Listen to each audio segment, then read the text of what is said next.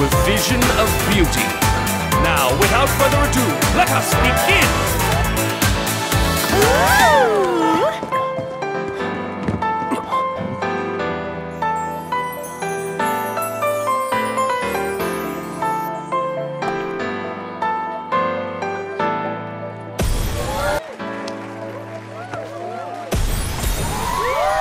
Perfection.